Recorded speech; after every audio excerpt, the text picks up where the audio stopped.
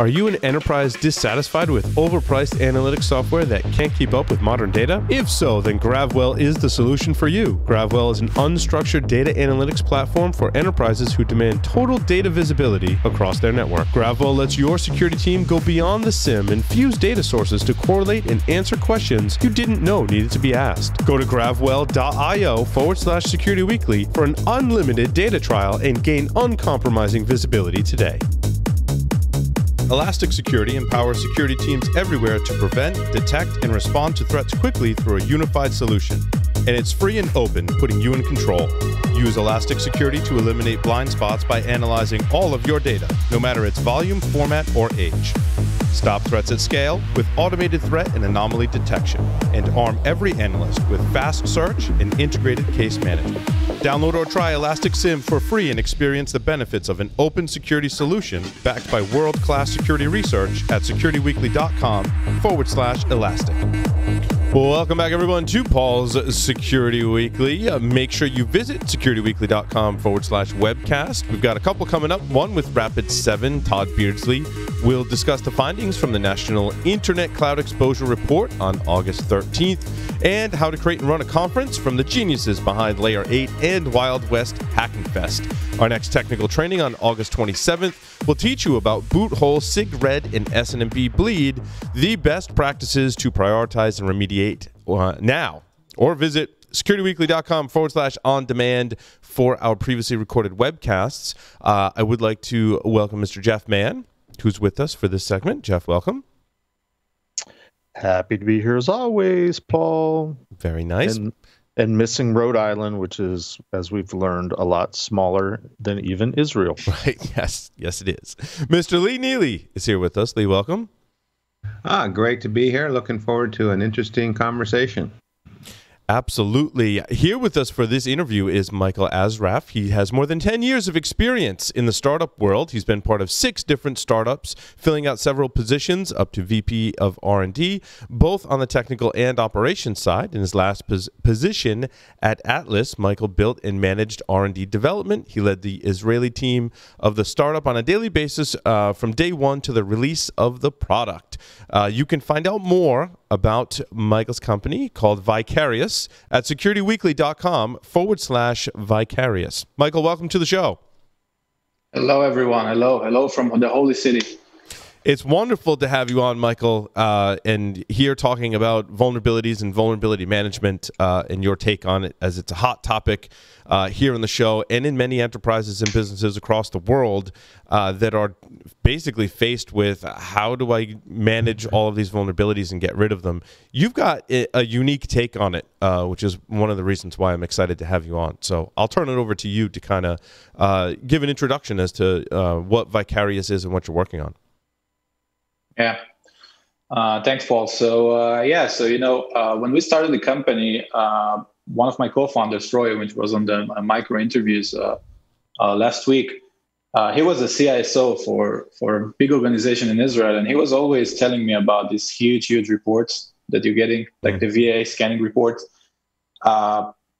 and at the end of the day, like the organizations struggle with few things around this report.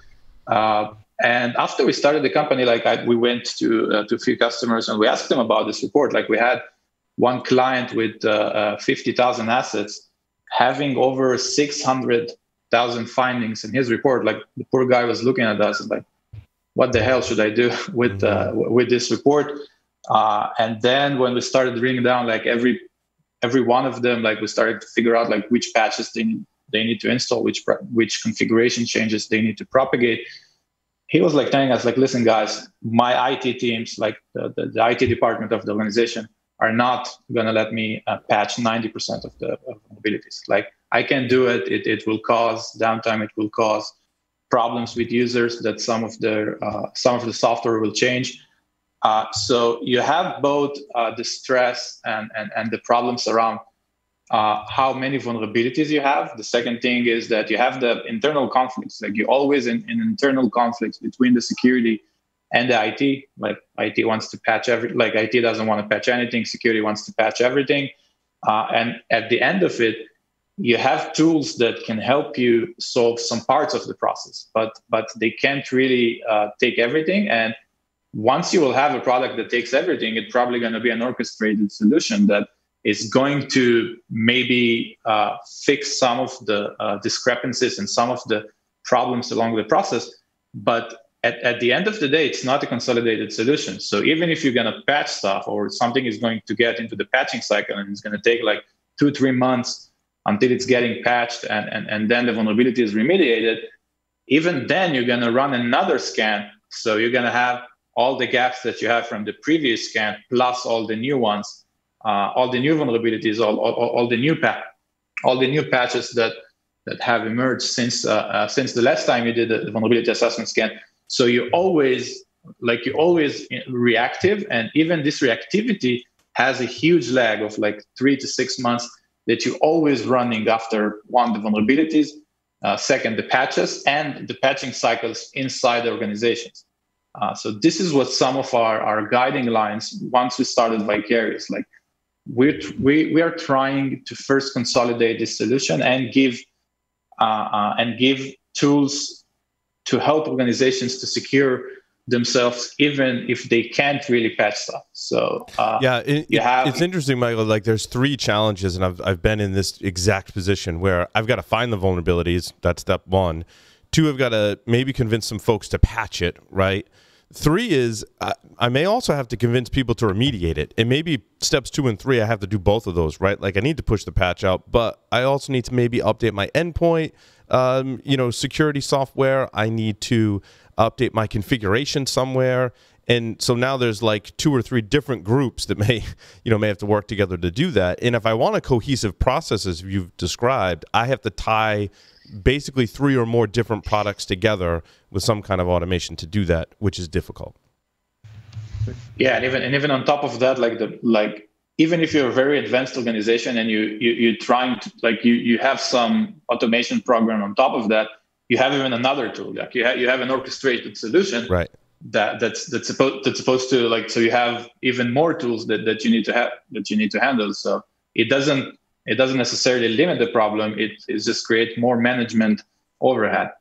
Right. Yeah, I just keep adding more. Like I have my vulnerability scanner, and then I add another product to help me prioritize it, and then I have another product that helps me report on it and automate it and tie it all together. And I, uh, organizations really have all types of different solutions they're trying to string together. Lee, I, there's one. There's one more piece that I that hit me, and that is, you've got the CIO or equivalent saying, okay, when you do that, don't break anything. Right. Yeah. Exactly. And how, where where are you guys fitting to help all this? This I'm, i know this is an, a, a really complicated problem set. Where are you focusing? Yes, that, that's that's a good question. Uh, so most of the like, and we looked at the market as it evolved because the company has been around uh, for, for a while. We look at the market as as it evolved, and and and what you have today is products that help you fix one of the problems. Like you, you, have products that will that will do the vulnerability assessment scan really, really good. You have products that will do the prioritization, uh, the prioritization piece really, really good. Like they're going to correlate a lot of data and, and, and stuff like this. You have really good patch management solutions.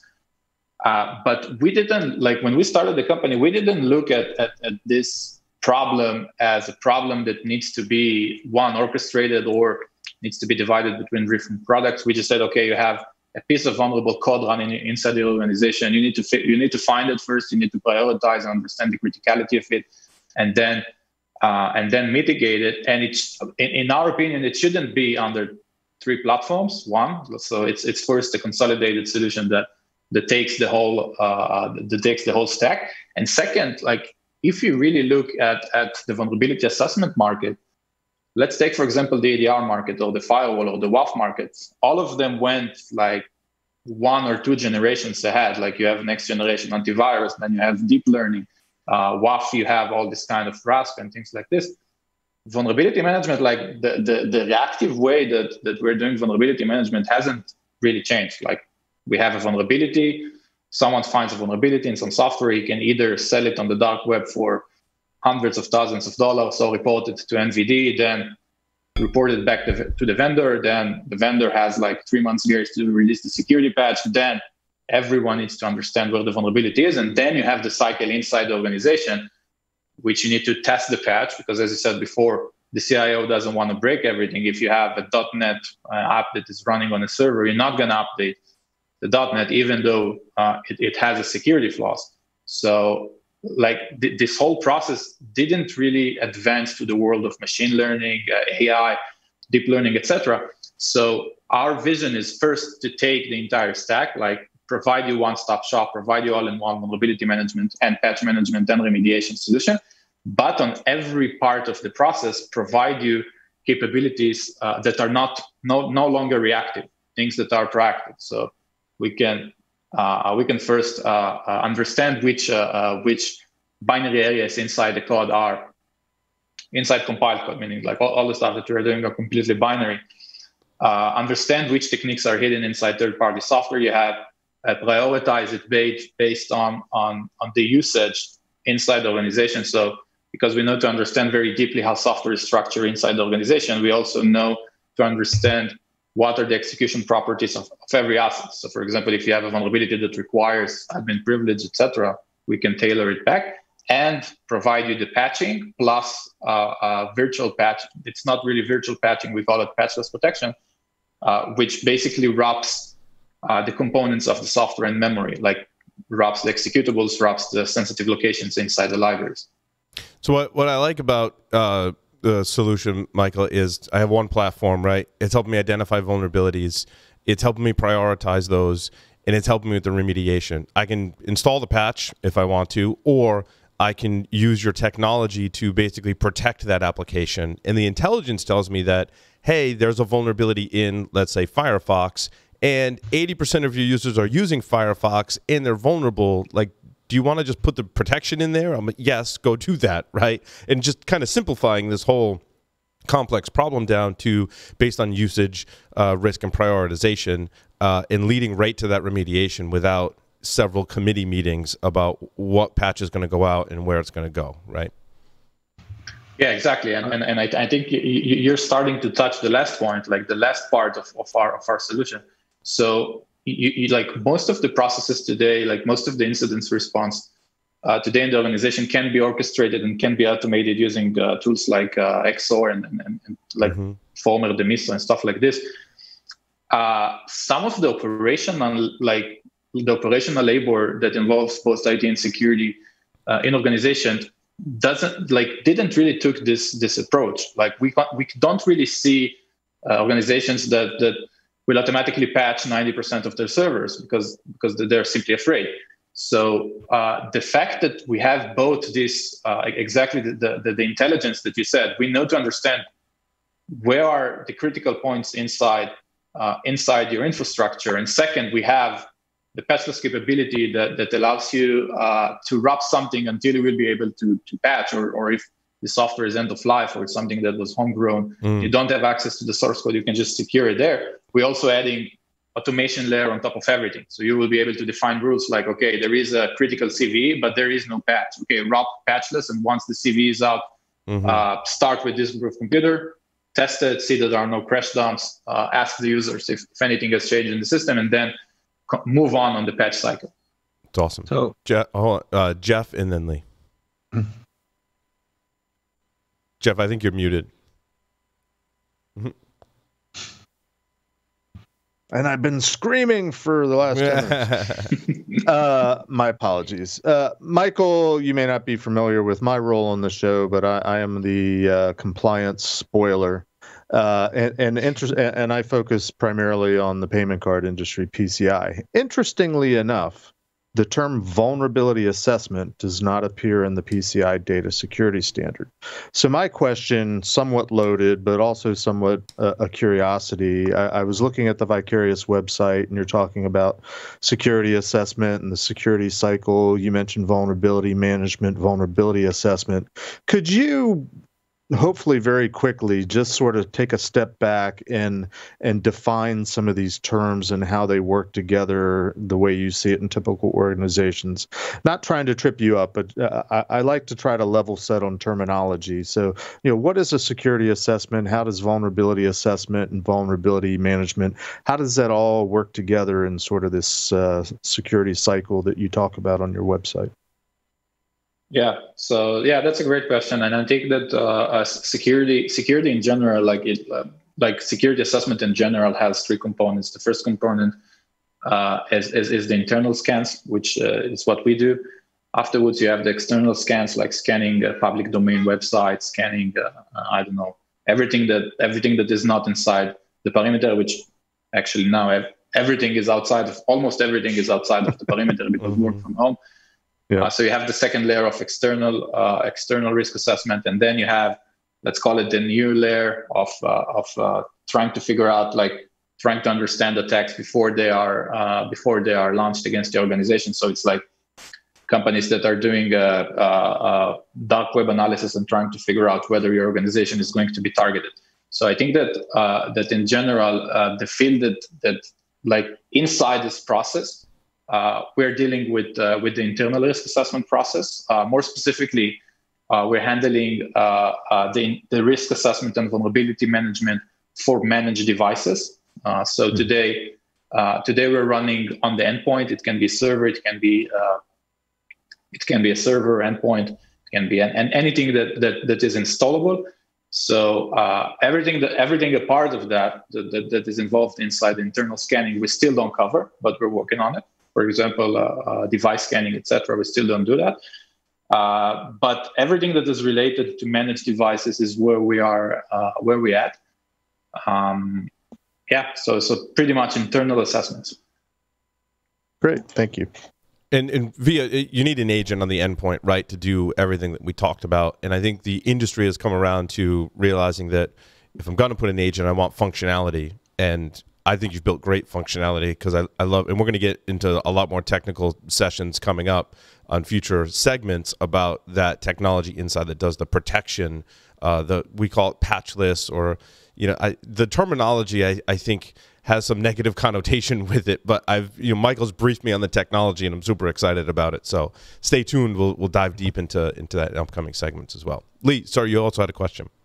So you know it's all good. So what I actually wanted to check as I was listening to Michael describe what he was doing, I felt like we're moving. He's going to empower an organization to go from, you know, patch all the things to being much more surgical and focused on dealing with the underlying issue and either patching or mitigating, as he's describing, wrappering uh, objects to keep to, to to protect them from being exploited.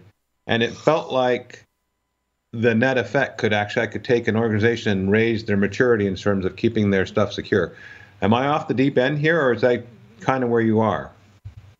Yeah, so that that's that's exactly that's like the the, the company tagline is patch dash less uh, vulnerability management, and patch less for us means two things. First, we're going to help you patch wherever it it will affect uh, uh, it will affect your cyber hygiene, your cyber your cyber risk posture in the best way, and we're going to do it with uh, extremely advanced prioritization uh, tools. So everywhere it's really, really critical for you to patch, we're going to tell you, and we're going to do it for you.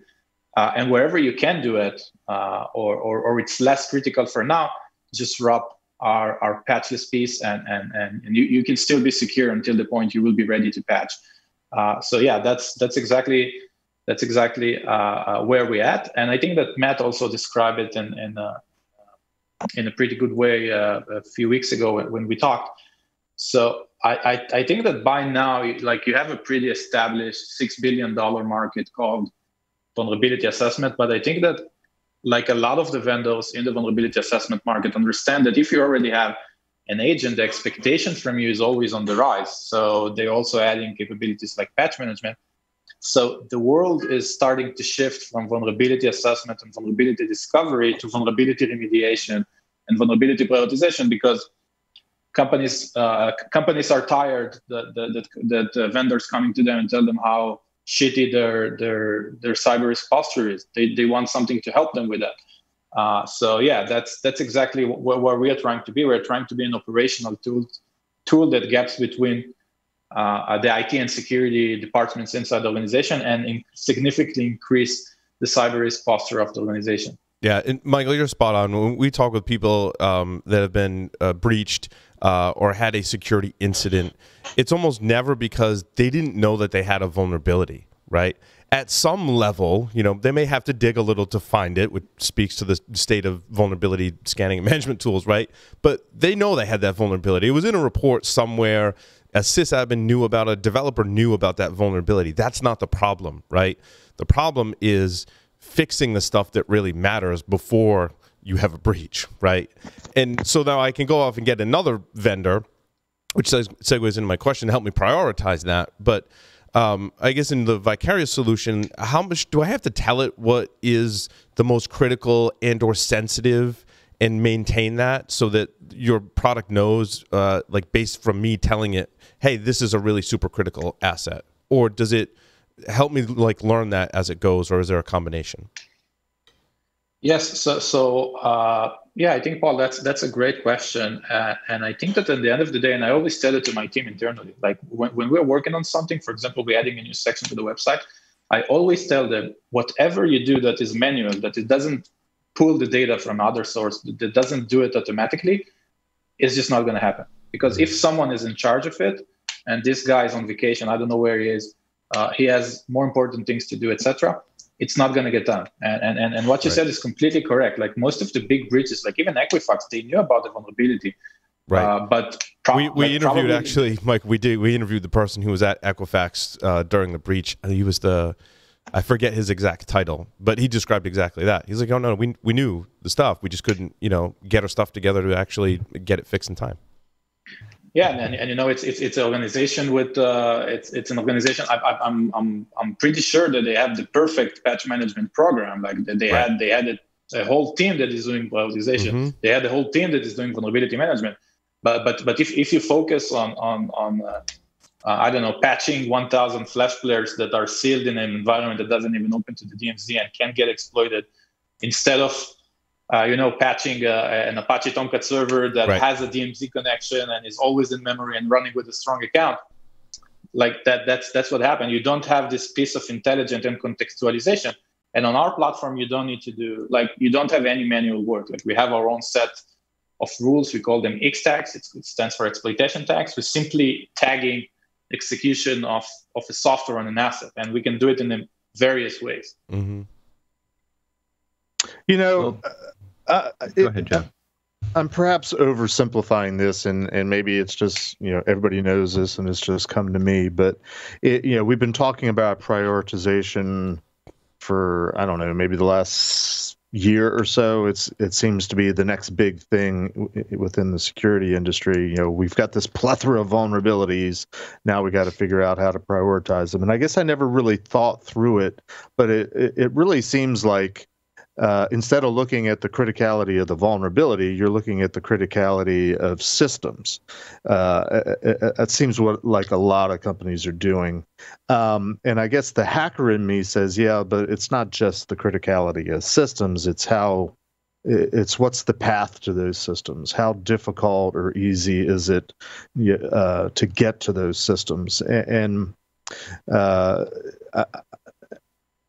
am I making an accurate perception uh, uh, conclusion, and, and, am I missing any major components, or is it is it does it really boil down to identifying critical systems based on whatever the business uh, criteria is, uh, and and the path to those systems? Is, is, there any other major moving parts, or is that pretty much it?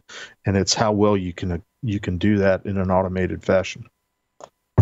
So, so I, I think I think that the, the like most most of the companies uh, that, that, that, are doing prioritizations today are trying to uh, to, to tie uh, the business uh, uh, the business aspect of a single asset to the criticality level of it.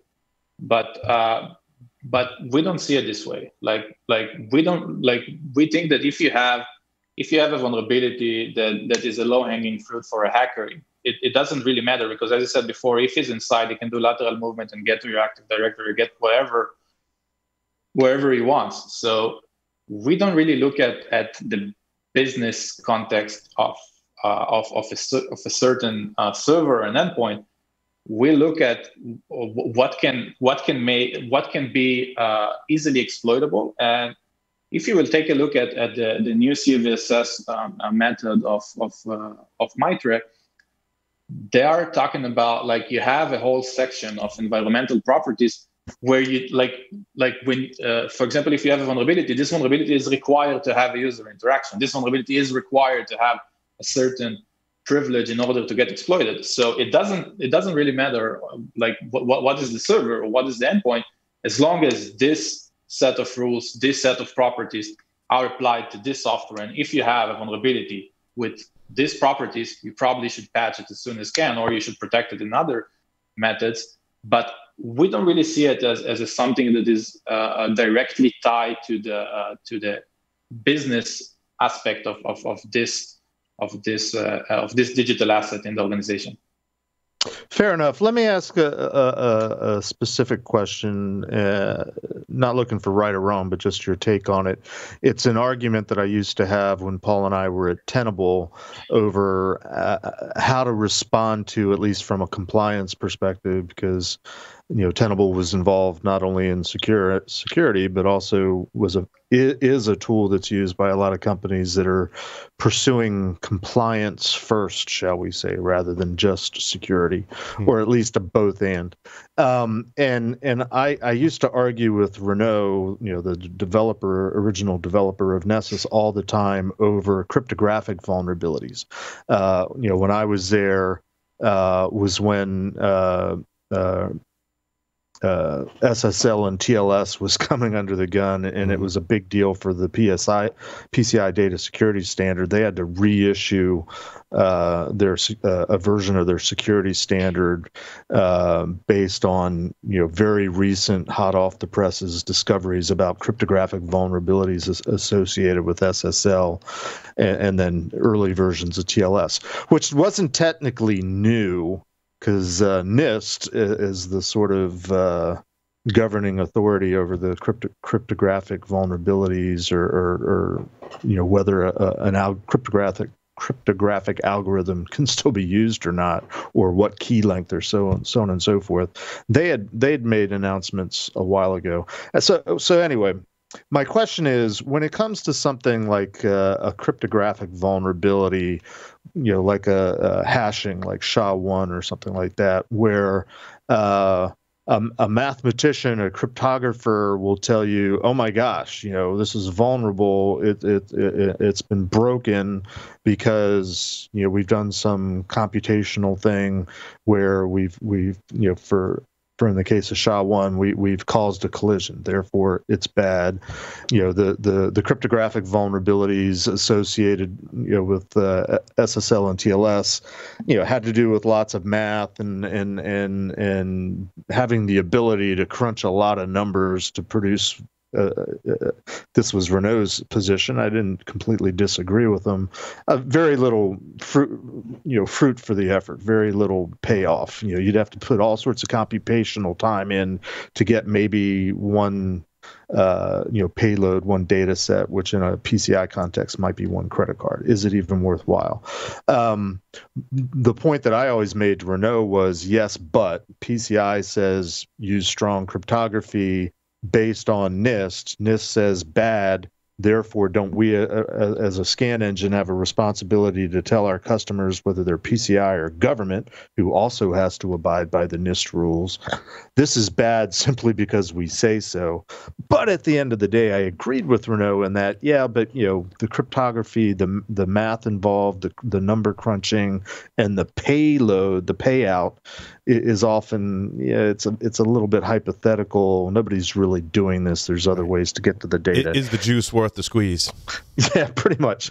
And, and you know, so a long-winded question, but basically, it's you know, how do you got? What's your guys' take on the types of vulnerabilities that are you know more theoretical in nature, which are often cryptographic in nature, but not all the time. But you know, a lot of planets have to be in, a, in alignment. A lot of conditions have to be just so. You know, how much do you take that into consideration in in terms of uh, risk prioritization?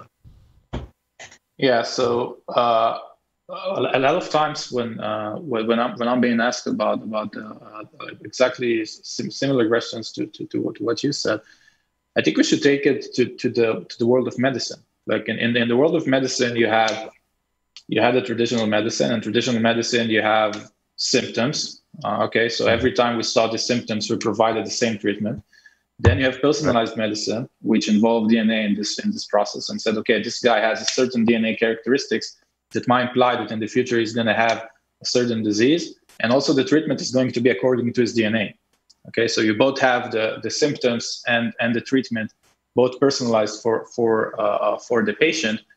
Uh, and and lastly, you have uh, uh which is the most recent one.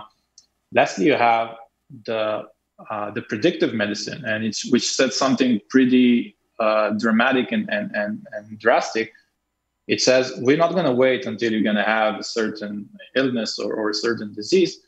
We're going to understand what is the likelihood of something getting like some person getting uh, getting a certain disease, and then we're gonna take proactive measures in order in order to reduce the chances of him getting this disease in the future.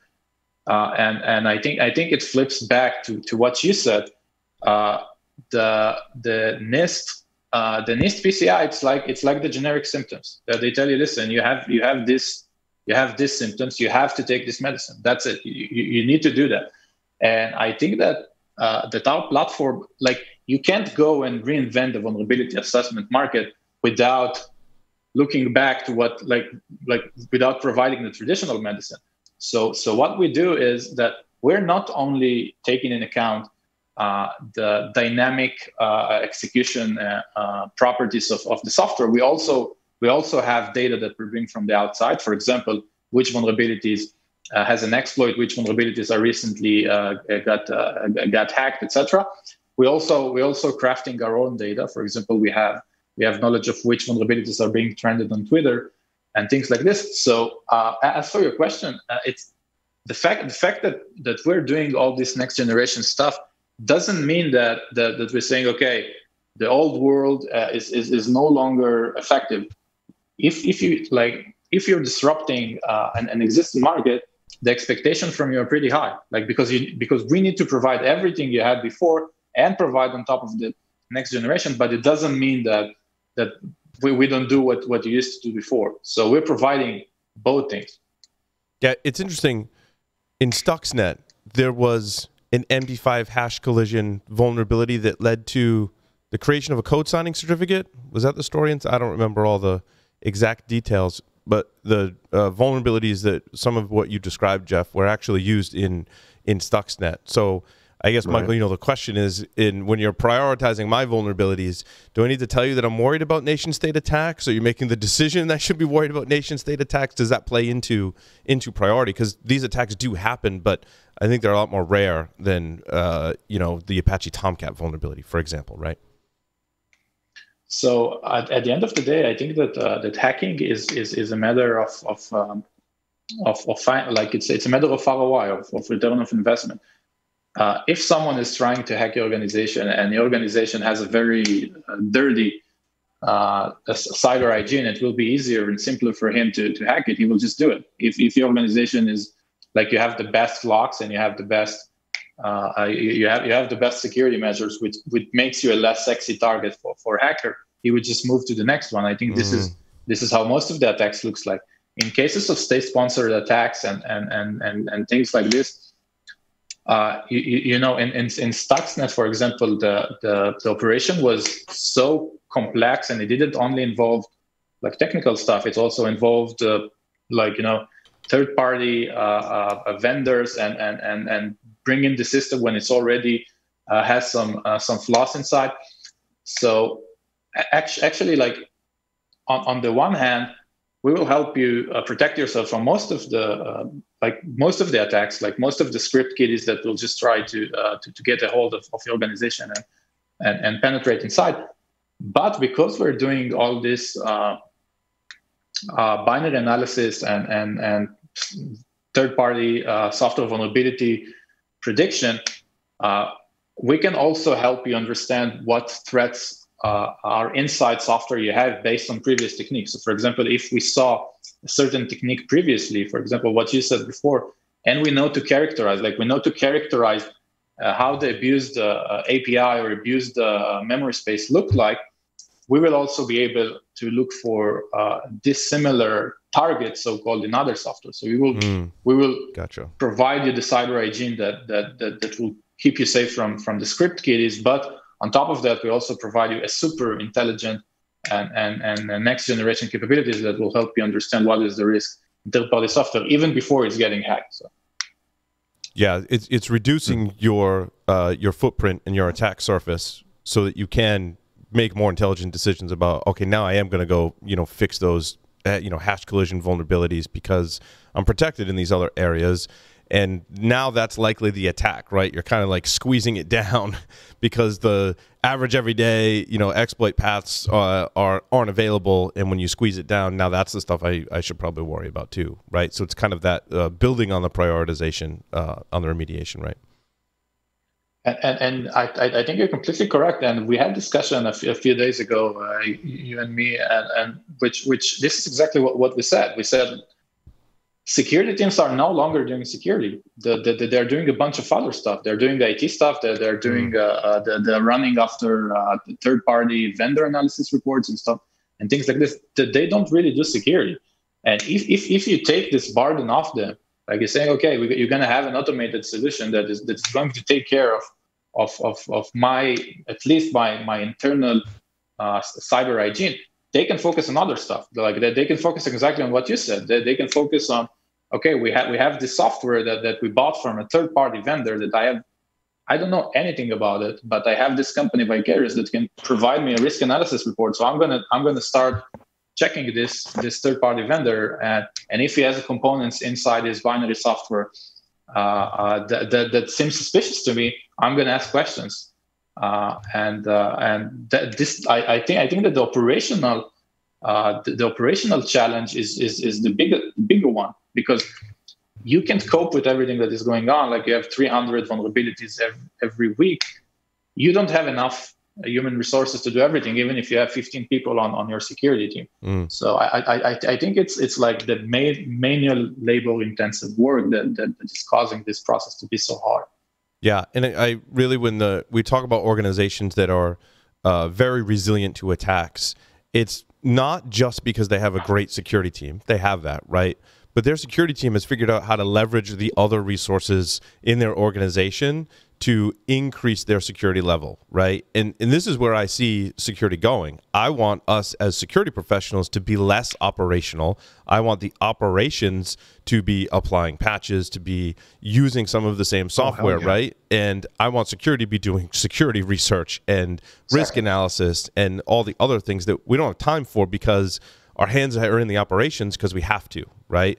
And I, I think Vicarius and, and other uh, solutions that I really like are really pushing that to the operations teams, right? I want my help desk, I want my network admins, I want my sysadmins that they're doing their job and security is part of it, right? And that puts less burden on the security team. So, so yeah, I'm, I'm sitting. Of, go ahead. Uh, go, ahead, Lee. So what I was thinking is, um, I'm like trying to build a mental wiring diagram of, of what would what you're what you're offering. I love the idea of a operational group taking care of the patches. Uh, definitely, they're in the right spot to do it. But I was thinking, where do you sit with respect to tools I have today? Do you replace things? You're integrated. I know you're a cloud solution. I get that, and so that can give me great up to date feeds from the analysis you're doing for helping me make good decisions. But am I retiring other tools, or or, or, or are you partnering with them, driving them? What's what's the model? Yeah, so so that, that's that's a good question. Uh, so we, we, are going after the market of of uh, vulnerability. Like if, if if you take on, on a business perspective, okay, let's let's switch the hat from from this security professionals to, to business. Uh, you have like we're touching here in three different markets. We're touching on the, on the vulnerability management market. We're touching on the vulnerability prioritization market, also called the risk-based uh, vulnerability management, uh, and we have parts of of uh, patch management the vulnerability assessment market worth uh, $6 billion, growing 50% a year. Uh, the prioritization market is still a growing market, worth around 200 million, grow 60% a year, so it's still a blue ocean. And you have the patch management, uh, the patch management market, which is a pretty small one. It's like half billion dollar. Does, doesn't grow in in a, in a, in a very extensive way. Uh, so where we want to be is definitely on the vulnerability assessment, which is slowly shifting into vulnerability prioritization and remediation because uh, tools tools that are doing only vulnerability assessment can like they, they can justify their existence inside the, the organization security stack. Um, so uh, we, we are we are trying to be uh, we are trying to take uh, the part of vulnerability assessment and vulnerability uh, prioritization uh, to us. Uh, the left part, which is which is like we have three parts. We have the analysis part, we have the prioritization part, and we have the act part. Uh, the act part. So we have today we have patching capabilities, in, in, like we have patch man- full patch management capabilities inside our agent. We have the patch list, but we see much more uh, things that, that are being added there. Uh, so along the way, we will definitely add more integrations uh, to the to the left part, the part of the act. Uh, but for the analysis and, and, the prioritization, this is the this is our uh, this is our holy grail. Like th- this is where we are, and and afterwards we will add more and more integration that will help you remediate stuff. Awesome. Um, so as you mentioned, your agent, what platforms are you you on today? So uh, today we're supporting all all uh, flavors of uh, of Linux. Uh, we're supporting uh, Windows uh, 7 and above. we're now by the end of the year we're going to release also a Mac OS X support, and we also have we also have container support, meaning that that you, you, you can install like we have pre-built we have a, a, a build for Docker containers for the OS level. Uh, so we, we, will be we are trying to first cover everything that is managed and afterwards go uh, to the device scanning and the network scanning part. Cool. Michael, the, you have uh, um, you have some free resources uh, on your website. Uh, have you made those public? Um, can you talk about those? Oh yes, so so we recently we recently launched our, our research center. So uh, uh, the the research center first includes all the CVE data, but more interesting than that, uh, one like uh, uh, one of our one of our main cores uh, uh, of, of the system is the ability to understand how software is structured. So, for example, we, when we when we install in a certain organization for a POC or, or, or a trial, first thing we're going to do is is a full asset and software inventory. But we're not going to stop there. We're going to drill down into every software and understand where it resides on the disk, what are the resources, what are the libraries, etc. Uh, and so some of that knowledge is also exists on the website. For example, you can go and, and search for Firefox or, or, or any other software and understand what is the software uh, structure, what is the ecosystem of it. And this uh, also draws out pretty in a, in a, pretty good way the way we do our protection because uh, once you have the context of what is a software, it's much more easier to protect it because uh, at the end of the day, we're not trying to you know we're not an EDR or an EPP solution which try to find all the bad guys on the computer. We're saying something that is that is pretty different. We're trying to understand what is the uh, uh, what is the structure of the app, and once we have the structure, then we're gonna wrap around it our our uh, memory defense protection. But it, it's it's it's not going to be just uh, uh, something that is going to analyze every kernel uh, level kernel level activity that every executable is doing on the computer. We just identify what is like how the software looks like and then protect it there. So the website gives you a glance of how we do that uh, and shows you uh, uh, shows you like different uh, structure of, of software uh, that, that, that, we collected and, and analyzed. Outstanding. Jeff Lee, more questions for Michael? Oh, Jeff, not questions is well, it was more of an observation. I, I think it's fascinating that more and more people are coming to the conclusion that you know certain certain functions that we traditionally lumped under the category of security are really not security by essence. They're really you know just the job of IT operations and other groups. Uh, I, I, I, find it fascinating that you've picked up on that. I, I gave a talk a couple years ago that you know based on the basic risk equation. Uh, asked the question all this stuff that you know 90% of this industry which is vulnerability based fits into a specific uh, variable within a risk equation and security is another separate element or variable in the equation. So how can they be the same thing if they're completely different? You know, maybe a little bit too esoteric, but you got you kind of fleshed it out a little bit, which I agree with. The I, I think the irony or the the the the the conflict comes into play where uh, you know, we, we talk to so many companies that are trying to tackle vulnerability management, vulnerability prioritization, and their tools and their their customers have traditionally been the security folks. Uh, how do I do have a question. How do you how do you push that into the hands of the not security people that, that should be doing it preemptively so that security can move on to do other better, more fruitful things? Uh, you know, it, it's probably a marketing campaign, you know, that tries tries to redirect towards the the non-security trained element, but you know, putting the tool into the right hands for the right purpose uh, that's a security function, but it's not. I, I find it fascinating and, and challenging, and good luck. Thanks.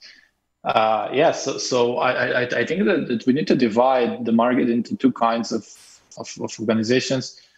Uh, the first organizations is organizations that has that have well established uh, security teams and they have a well established IT teams. Sometimes they will even have a dedicated teams that are doing vulnerability assessment even vulnerability, even teams that are doing uh, uh, vulnerability prioritization. I can tell you that that some of the big some of the big organizations, some of the big enterprises have built tools, uh, have internally built tools in order to prioritize threats because uh, the, this this problem is is just is just so hard to fix because they have three teams. Somewhere these teams are not even in the same continent uh, which one team is doing the patch management, one team is doing the uh, the vulnerability assessment, and you know a- everyone is yelling. Like so, so who's ye- who's who's yelling stronger, the, the, the security or or the IT? Uh, so on, on the one hand, when you involve a big organization, that requires a political change. Like you need to understand that you need to tie up either the CISO or the CSO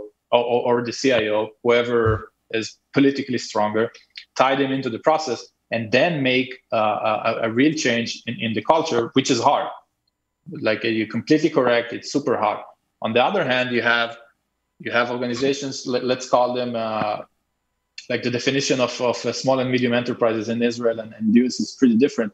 But let's call organizations from 500 endpoints to 5,000 endpoints or servers. Uh, these organizations many times most of the times they will have a vulnerability assessment tools. Uh, sometimes they will also have a patch management solution, but the the process is is is not really as, as you expect to be. It's it's it's it's a, a big mess. Sometimes uh, the IT is also do like IT is in charge of security. They don't, they don't even have a CA. So so in, in this kind of organizations, I think that the value is is pretty immediate.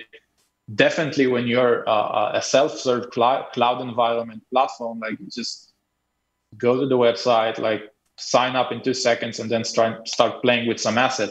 Like we're like we we, we tried to take uh, we tried to like we went on the hard way. Like we, we tried to take the model of, of Datadog and, and this kind of companies and first developing a solution that is really, really easy to onboard, really, really easy to integrate, and then go uh, like to the big organization, which is which is very like it's, it's a very unique go-to-market strategy if you're a small Israeli startup because what most of these Israeli startups are doing is that they're gonna they're gonna raise like four or five million dollar, get one or two big logos, and then try to raise money. We, we did it in the opposite way, and I think more more healthy way because once we will get uh, w- w- once we will start having our, our, our enterprises and we're already POCing with them, we're already working with them. Once we will start ramping up with them, we will have a solution that that already uh, has a very strong capabilities and very easy to operate. Hmm. Interesting. Awesome. Michael, thank you so much uh, for appearing on Paul's Security Weekly. Uh, folks that want to learn more can go to securityweekly.com forward slash vicarius. Michael, thanks again. Thank you. Thank you, Paul. And that will conclude this episode of Paul's Security Weekly. Thanks everyone for listening and watching. Over and out.